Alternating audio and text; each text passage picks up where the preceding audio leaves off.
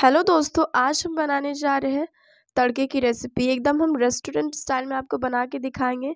और sorry for the voice, don't mind, मेरा आज थोड़ा सा गला ख़राब है तो प्लीज़ एडजस्ट कर लीजिएगा। तो यहाँ पे मैंने तड़का को प्लेन राइस यानी कि वेजिटेबल पुलाव के साथ सर्व किया है। आप चाहे तो इसको रोटी के साथ भी खा सकते हैं चावल दोनों के साथ खा सकते हैं। तो चलिए बनाना स्टार्ट करते हैं। तो यहाँ पे मैंने एक बाउल लिया है। तो यहाँ पे मैंने एक कप के करीब चना दाल लिया है। आप कोई भी दाल ले सकते हैं। अब इसको हम दो से तीन बार अच्छे से वॉश कर लेंगे पानी डालकर। इसको आप अच्छे से वॉश कर लीजिएगा। तीन से चार बार जितना अच्छे से पानी डाल के वॉश कीजिएगा, उतनी ही अच्छे तरह से ये साफ़ हो जाएगा।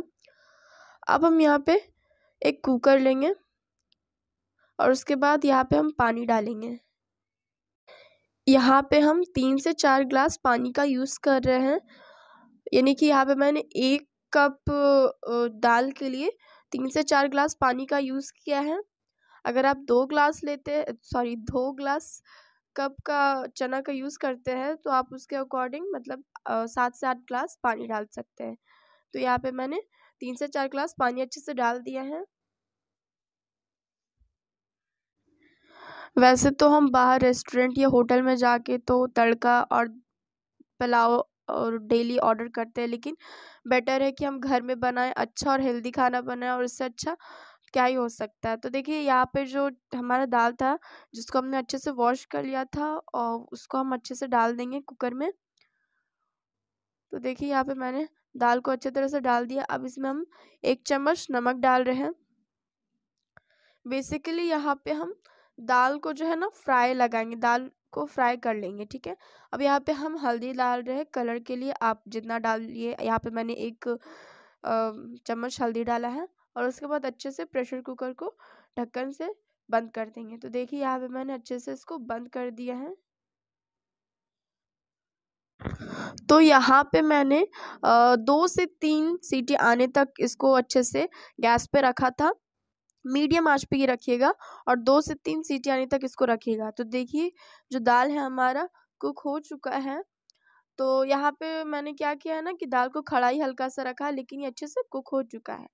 अब यहाँ बेसिकली हम इसको तड़का लगाएँगे एक। तो यहाँ से हम अलग से फ्राई कर रहे हैं। आप चाहे तो उसमें भी आप सारे वेजीज वगैरह जो है, डाल के उसको अच्छे से फ्राई कर सकते हैं कुकर में ही। तो यहाँ पे मैंने एक कढ़ाई लिया है और उसके बाद यहाँ पे मैंने दो से तीन बड़े चम्मच मस्टर्ड ऑयल यानी कि सरसों का तेल यूज़ किया है।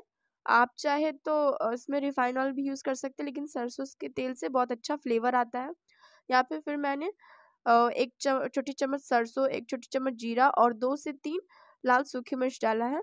और यहाँ पे एक छोटी चम्मच सौफ भी डाला है। सौफ से बहुत अच्छा टेस्ट आता है। आप इसका ज़रूर से ज़रूर यूज़ कीजिए। आप यहाँ पे हींग का भी यूज़ कर सकते हैं। यहाँ पे मेरे पास हींग नहीं था। तो आप हींग ज़रूर डालिए, वो डाइजेशन में बहुत हेल्प करता है तो इसलिए हींग डालिएगा, वो अच्छा होता है। अब यहाँ पे हम ग्रीन चिली डाल रहे हैं, दो से तीन डाले हैं, उसको बीच से कट करके डाले, उसके बाद पे रफ रफ़ी चॉप्ड अनियन डाल रहे हैं, टमाटोज डाल रहे हैं, और उसके बाद इन सबको अच्छे से डाल के मिक्स करेंगे। आपके पास जो भी अवेलेबल हो, वो डालिए, और जो आपको स्किप करना बेसिकली एकदम प्लेन भी बना सकते हैं। तो देखिए, यहाँ पे अच्छे से हम इसको चला लिए, अच्छे से भून लिए हैं, तब तक उसको कुक करना जब तक कि टमाटर जो है गल ना जाए।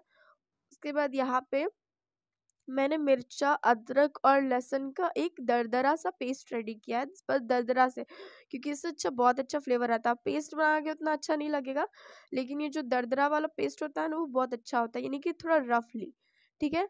अब उसमें हम थोड़ा सा नमक ऐड करेंगे थोड़ा सा आधा चम्मच ऐड करें ध्यान रखिएगा कि ऑलरेडी हमने दाल में भी नमक ऐड किया था तो देख के ही आप ऐड कीजिएगा।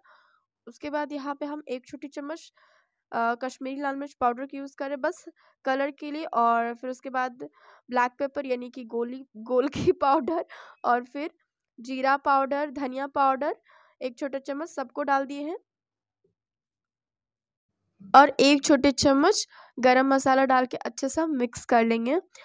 तो आपके पास जो भी मसाला अवेलेबल है वो आप डाल दीजिए तो सबको अच्छे से डाल के मिक्स कर लीजिए। तो देखिए ये जो हमारा आ, मतलब अब तड़का के लिए रेडी है अब यहाँ पे हमने तड़का को डाल दिया है। तो देखिए यहाँ पे जो दाल है वो खड़ा रखा है मैंने आप चाहे तो इसको मैश भी कर सकते हैं जो पोटैटो मैशर आता है या मथनी जिसको हम लोग बोलते हैं जो भी बोलते हैं आप उससे अच्छे से मैश कर सकते हैं। यहाँ पे लेकिन मेरे को जो दाल होता है खड़ा वो अच्छा लगता है इसलिए मैंने इसको रखा है। आप चाहे तो सबको अच्छे से मैश कर सकते हैं। तो देखिए, यहाँ से आपको एक से दो बॉयल आने तक अच्छे से इसको कुक कर लेना है। ऑलमोस्ट ये हमारा रेडी है। तो देखिए, अब हमारा जो तड़का है, इसमें अच्छे से बॉयल आ चुका है और ये देखने में ही बहुत डिलीशियस और यमी लग रहा है। तो यानी कि ये बन के रेडी हो चुका है और देखिए, कितना प्यारा कर रहा है तो चलिए, अब हम इसको सर्व करते हैं। तो यहाँ पे मैंने इसको सर्व किया है।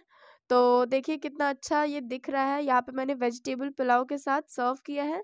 एकदम प्लेन पुलाव है, ज़्यादा कुछ इसमें मैंने भी नहीं डाला है। चावल में, चावल के साथ इसको सर्व किया है। देखिए कितना डिलीशियस लग रहा है। आई होप कि मेरी वीडियो आपको अच्छी लगी होगी। मिलते एक नई वीडियो में एक नई रेसिपी के साथ। तब तक के लिए बाय बाय